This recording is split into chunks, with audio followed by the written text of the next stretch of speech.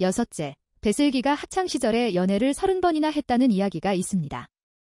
이것이 순전히 방송용 드립일 수도 있을 겁니다. 어쨌든 이런 구설수는 결혼 시장에서 여자에게 치명적일 수 있습니다. 리서바, 썸네일을 이따위로 만들어서 졸라 빡도냐? 내가 이따위로 썸네일 어그로 끄는 법을 어떤 새끼한테 배웠을 것 같냐? 리섭은 인기 연예인 배슬기와 결혼한 업적을 연애의 정석 광고에 이빠이 활용해 왔습니다. 돈도, 외모도, 배경도, 학벌도 없었던 자신이 만땅 연애 실력 덕분에 배슬기와 결혼할 수 있었다는 겁니다. 이런 식으로 세계 최초로 자신의 연애 이론을 증명했답니다. 이런 주장을 진지하게 반박해 보겠습니다. 이 영상의 타겟은 리섭이며 가족은 건드리지 않는 것이 국룰이지만 부인인 배슬기를 언급하겠습니다. 배슬기가 미성년자도 아니고 과장 광고에 이빠이 활용되었으며 과장 광고를 통해 챙긴 이득을 리섭과 함께 누렸기 때문입니다. 첫째, 범퍼 깨진 소나타를 언급하면서 가난 코스프레를 하지만 당시에 리섭은 돈을 상당히 잘 벌고 있었습니다. 대단한 말발로 유튜브 채널을 크게 키웠으며 자청과 동업하면서 평범한 남자들이 감히 넘보기도 힘들 정도로 돈을 긁어 모으고 있었습니다. 21세기의 대다수 한국 여자들은 특히 결혼을 할 때는 돈 많은 남자를 엄청나게 선호합니다. 돈을 잘 벌면 연애 실력이 부족해도 남들이 부러워하는 여자와 결혼하기가 상대적으로 훨씬 쉽습니다. 둘째, 윤동한 한국홀마 회장이 직원들에게 리섭의 영상을 강제 시청하도록 해서 뉴스에 탄 적 있습니다. 리섭은 그만큼 저명한 우파 유튜버였습니다. 배슬기는 우파 유튜버를 좋아하는 사람이었던 듯합니다. 그리고 그런 여자에게는 수많은 열혈 팬들을 거느리는 리섭의 모습이 매우 멋있어 보일 수도 있을 겁니다. 인기가 많은 남자, 특히 많은 남자들에게 지도자로 인정받는 남자라면 연애 실력이 부족해도 남들이 부러워하는 여자와 결혼하기가 상대적으로 훨씬 쉽습니다. 여자는 지위 높은 남자를 선호하도록 진화한 듯합니다. 셋째, 리섭에게는 상당한 카리스마가 있어 보입니다. 자신감에 차 보이며 여유가 있어 보입니다.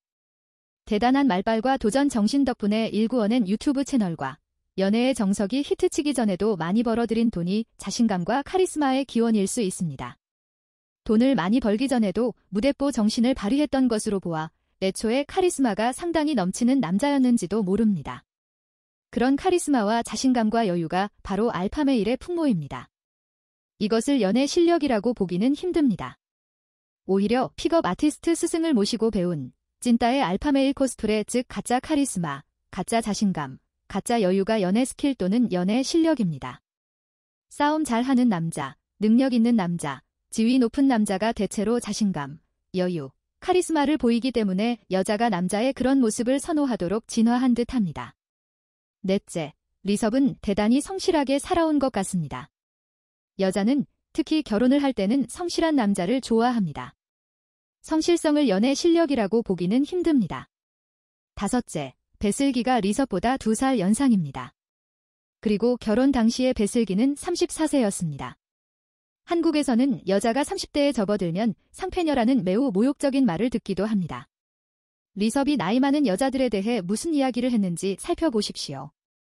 여자가 30대가 되면 비트코인 하락장의 폭락처럼 짝짓기 시장에서 인기가 폭락한답니다.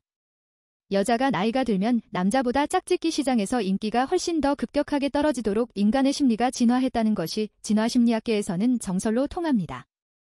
여자에게는 폐경이라는 것이 있으며 나이가 들면서 건강한 아이를 잘 임신하고 출산해서 키울 가능성이 남자에게 필요한 능력보다 훨씬 급격히 줄어드는 것 같습니다.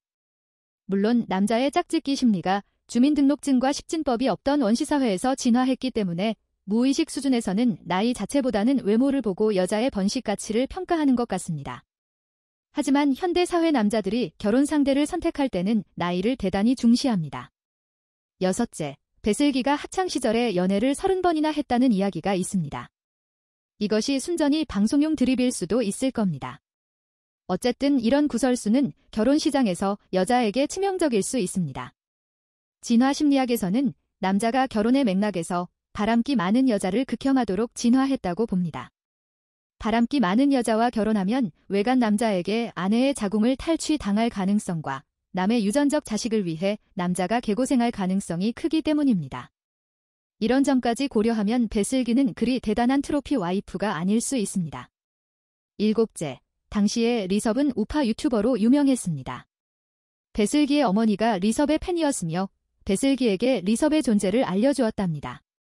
그리고 배슬기도 정치적 내용을 다룬 리섭의 영상을 좋아했답니다. 서로 마음이 잘 맞으면 상대에게 다른 면에서 부족한 면이 어느 정도 있더라도 결혼할 수 있습니다. 서로 유전자 궁합이 잘 맞으며 이것이 배슬기가 리섭을 선택하는데 중대한 영향을 끼쳤을 가능성도 무턱대고 배제해서는 안 됩니다. 여덟째, 세계 최초라는 말을 이렇게 함부로 쓰면 안 됩니다. 요컨대 인기 연예인 배슬기와 결혼한 것을 두고 자신의 연애 실력 또는 연애 이론을 증명했다고 진지 빨면서 주장한다면 제대로 된 과학자들이 기겁할 겁니다. 예쁜 인기 연예인이라는 타이틀만 보면 배슬기가 엄청난 트로피 와이프로 여겨질 수도 있을 겁니다. 이게 리섭이 노리는 겁니다. 하지만 결혼 당시의 배슬기의 나이를 고려하면 리섭보다 두 살이나 연상이었다는 점을 고려하면 학창 시절의 연애 경험이 지나치게 풍부했다는 구설수까지 고려하면 엄청난 트로피 와이프에서 많이 애누리해야 할 것 같습니다. 리섭 자신의 말을 비롯하여 여러 가지 정황들을 살펴볼 때 리섭은 평균적인 또래 남자들에 비해 돈을 훨씬 잘 벌었으며 카리스마와 자신감과 여유가 있으며 도전 정신이 대단했으며 말빨이 대단했으며 그쪽 동네에서는 수많은 찐팬들을 거느린 나름대로 지도자였습니다. 리섭은 자신은 평균적인 남자 또는 평균 이하인 남자라고 포장하지만 어떤 면에서는 대단한 남자인 겁니다. 그런 대단한 남자는 연애 실력이 부족해도 여자들 사이에서 인기를 끌 수 있습니다. 통상적으로 겸손은 미덕으로 여겨집니다. 하지만 과장 광고를 위해 매우 비현실적으로 자기 비하를 한다면 그건 겸손이 아니라 사기입니다. 저의 이런 진지한 비판을 보고 코미디를 다큐로 오해한 진지충이라면서 핀잔을 주는 사람도 있을 겁니다. 리섭은 썸네일 어그로로도 유명합니다. 어그로의 중요성에 대해서는 리섭 자신도 이야기한 바 있습니다. 리섭은 썸네일 어그로를 끌었더라도 본 영상에서 수습하면 된다고 생각하는 모양입니다. 공짜로 볼 수 있는 유튜브 영상의 경우에는 그런 변명이 어느 정도 통할 수도 있을 겁니다. 하지만 저는 50만원 가까이 하는 유료 강의에 대해 이야기하는 겁니다. 삼성에서 리섭식 썸네일 어그로처럼 광고를 한 후에 품질만 좋으면 뭐가 문제냐고 항변한다면 통할 것 같습니까? 리섭은 삼성처럼 큰 기업에서는 기업 윤리를 지켜야 하지만 좆밥 기업에서는 기업 윤리를 개무시해도 된다고 생각하는 걸까요? 지능이 평균 이상인 사람이라면 리섭의 광고 문구를 보고 썸네일 어그로 정도라고 보고 웃어넘길 가능성이 매우 큽니다. 그런 사람이 리섭의 강의를 산다면 평소에 리섭의 영상을 보고 일리 있는 말을 많이 한다고 생각했기 때문일 겁니다. 하지만 세상에는 지적장애인들도 있고 경계선 지능인들도 있습니다. 통상적으로 IQ 70 이하인 사람으로 정의하는 지적장애인의 경우에는 리섭의 그런 과장 광고를 매우 쉽게 믿을 수 있습니다. 하지만 지능이 하위 1에서 2%에 드는 지적장애인은 오히려 이런 면에서는 안전할 수 있습니다. 왜냐하면 가족들이 그런 사람들에게는 경제권을 사실상 주지 않기 때문입니다. 7명 중에 1명 정도 있다는 경계선 지능인들의 경우에는 상황이 상당히 다릅니다. 경계선 지능인보다 지능이 약간 높지만 평균보다는 상당히 떨어지는 사람들을 중경계선 지능인이라고 부를 수 있을 겁니다. 그들에게는 상당한 경제권이 있습니다. 경계선 지능인들과 중경계선 지능인들은 지능이 평균 이상인 사람들에 비해 사기꾼들에게 훨씬 잘 속습니다. 사이비 종교 지도자, 악성 목사, 허경영, 자청, 리섭과 같은 사람들이 얄팍한 속임수로 꼬실 때 넘어가는 경우가 많습니다. 이것이 배슬기와의 결혼으로 세계 최초로 자신의 연애 이론을 증명했다는 리섭의 어그로성 과장 광고를 웃어넘길 수 없는 이유입니다. 과연 사이비 종교 지도자, 악성 목사, 허경영, 자청, 리섭의 얄팍한 속임수에 넘어가서 돈이나 다른 것들을 바치는 사람들 중에 경계선 지능인들과 중경계선 지능인들의 비율이 얼마나 되는지를 제가 알 수는 없습니다.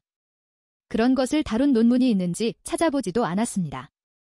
어쨌든 상식적으로 생각해 볼 때 경계선 지능인들과 중경계선 지능인들은 돈욕심에 양심을 팔아먹은 자들에게 노다지와 같습니다.